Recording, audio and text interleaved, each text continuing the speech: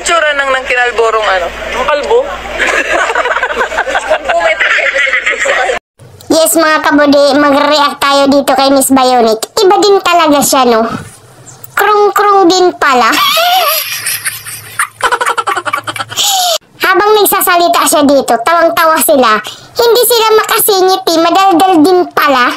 Tingnan mo si Ate Eliza, titig na titig sa kanya. Ang kulit din naman kasi.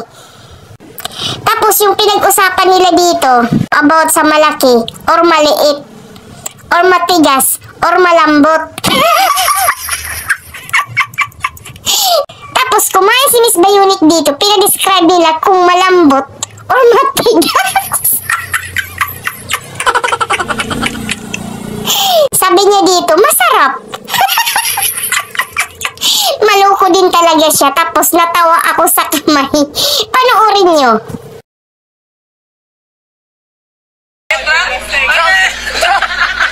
Ay, tagbo apat. Pagod sila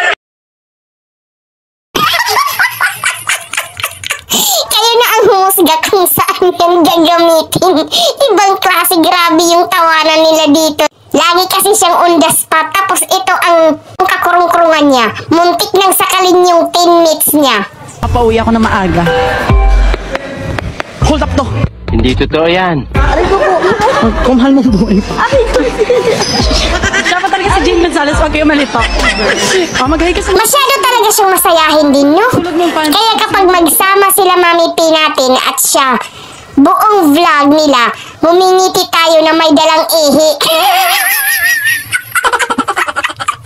Kasi si Mami P din kapag maumpisahan mo, may hirit din yun. Sigurado puro saya at kilig ang buong vlog nila kapag magsama itong dalawa. Ang kulit kasi tingnan eh. Tingnan mo dito, kahit nag-hi na yung teammates niya, pinaulit pa niya. So, mag-hi ka sa akin. Tapos na nga? Ay, hindi ko narinig. Alutin mo. Ay, hala, hala, tingnan mo siya. Siya po yung tagabalot ng ano, pero payat pa din. Pati ang payat, pinagtripan niya.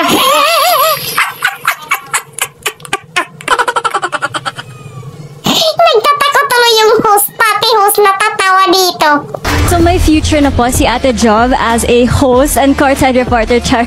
So ayun, kumusta experience Ate Jov? Um, actually, Bundes pa talaga siya palagi, kaya tingnan mo, tamimi talaga yung host, hindi makapagsalita, siya na lang lagi.